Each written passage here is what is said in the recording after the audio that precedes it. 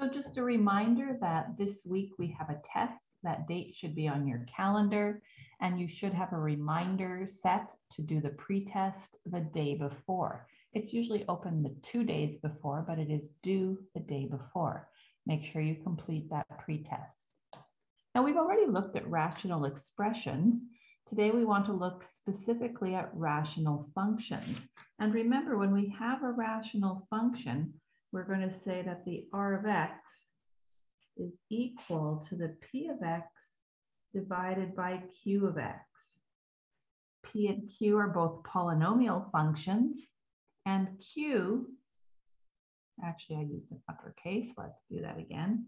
And the Q of X, of course, the denominator cannot equal zero.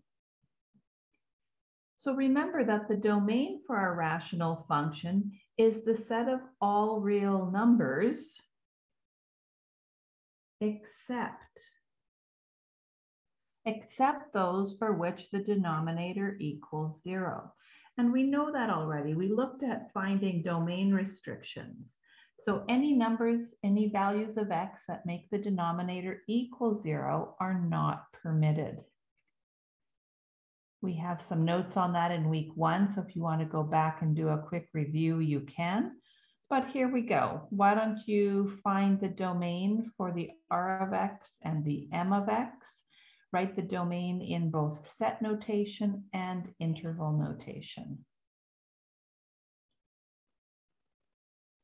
So remembering that we're just looking at the denominator, the denominator cannot equal zero. So we see that x cannot equal negative 5. I always find it easiest, especially for interval notation, to draw that on the number line because I can see the two intervals I have here. Of course, we have an open circle because x cannot equal negative 5.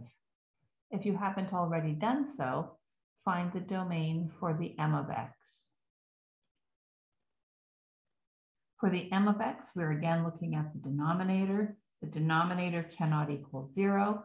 I used the square root method here. And of course, you had to remember when you take the square root of both sides, you need the positive and negative root. We're using open brackets because x cannot equal negative 2 or positive 2.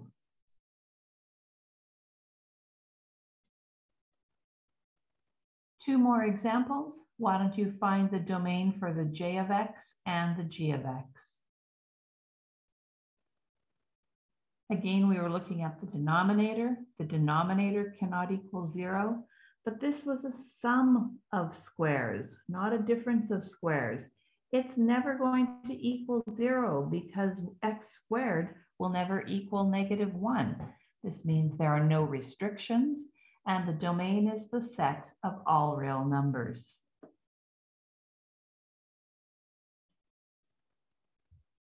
And for our last example, we again look at the denominator. The denominator cannot equal zero. And so we factored the trinomial and found two restrictions. X cannot equal negative one half or three. And there you see it written using both set notation and interval notation.